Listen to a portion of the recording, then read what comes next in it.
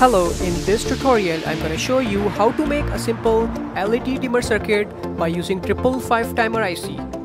So let's get started.